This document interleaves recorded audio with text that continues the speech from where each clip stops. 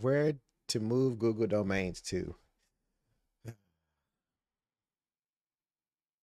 This is the news. Google domains shutting down, assets sold, and being migrated to Squarespace. I am super salty about this. Super salty. And I'm not afraid to admit it. I have used Google domains for everything, not everything, most things.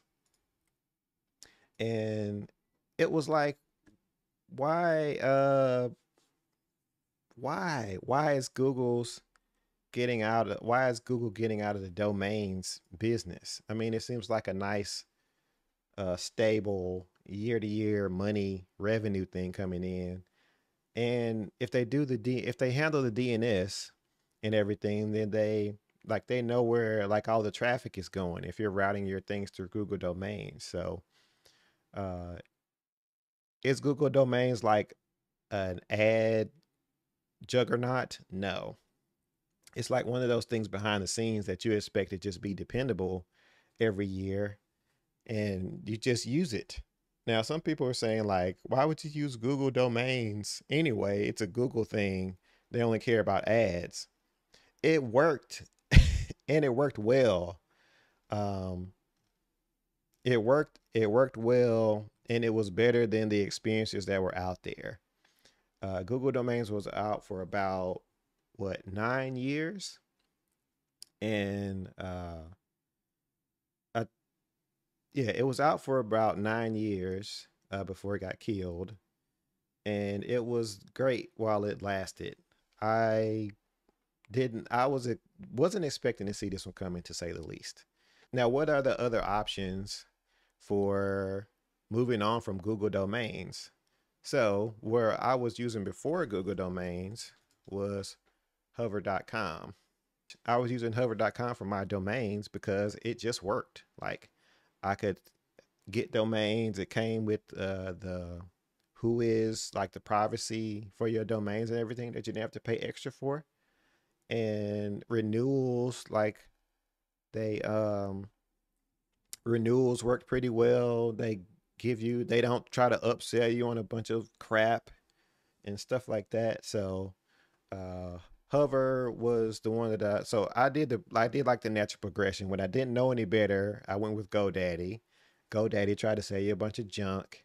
So then I moved to Hover and um, Hover worked great. And the only reason I moved off of Hover is because Google Domains had a better experience of buying domains and like availability of domains.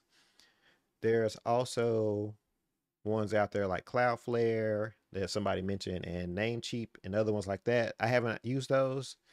Um, but if the migration process from Google domains is good with those, then we'll see if uh, I'll have to definitely check those out and see if the um, if the process is any better because uh, I have never bought domains on Squarespace and I don't really have any interest in uh, buying them off of Squarespace. So, uh, yeah, Google, Google domains, you had to hook into Google Workspace. Like all of it was just like there in a nice package uh, for the web.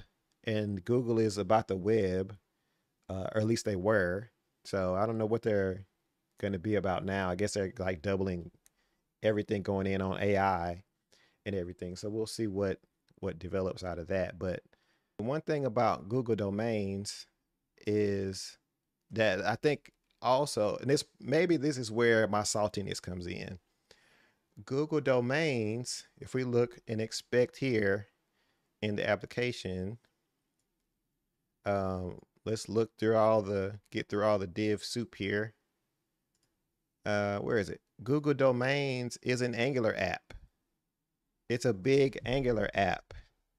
So not only did Google domains go away, they probably are killing one of the biggest Angular applications uh, out there.